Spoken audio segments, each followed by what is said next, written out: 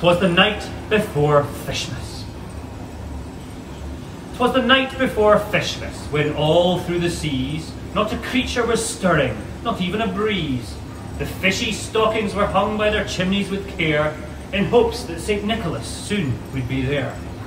The starfish were nestled all snug in their beds, while visions of plankton danced in their central nerve networks.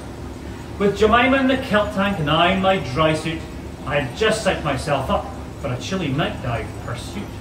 When out on the bay there arose such a clatter, I sprang from the tank to see what was the matter. Up the ladder I flew like a flash, tore off my mask, grabbed my dive buddy, ready to dash.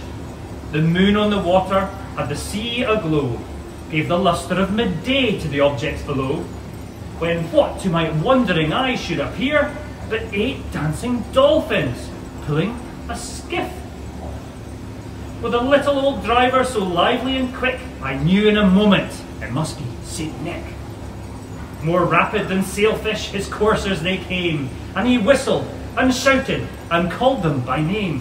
Now Dasher, now Dancer, now Prancer, now Vixen, on Comet, on Cupid, on Donder and Blitzen. To the top of the aquarium, to the top of the wall. Now dash away, dash away, dash away all.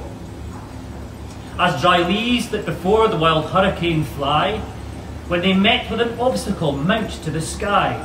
So up to the rooftop the dolphins they flew, with a skiff full of fishy treats, and St. Nicholas too. He was dressed all in neoprene from his head to his foot, with a big red sack full of fishy loot. His eyes, how they twinkled, his dimples, how merry. His cheeks were like roses, his nose like a cherry. His droll little mouth was drawn up like a bow, and the beard on his chin was as white as the snow. He had a broad face and a little round belly that shook he laughed like a bowl full of jelly. He was chubby and plump, a right jolly old elf, and I laughed when I saw him, in spite of myself. A wink of his eye and a twist of his head soon let me know that I'd nothing to dread. He spoke not a word, but went straight to his work, and dove into the tank. He fed all the fish, then turned with a jerk, and laying a finger aside of his nose, and giving a nod, up through the water he rose. He sprang to his skiff, to his team gave a whistle, and away they all flew like the down of a thistle.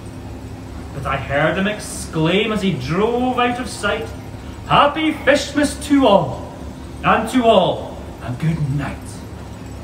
Happy Fishmas, everybody.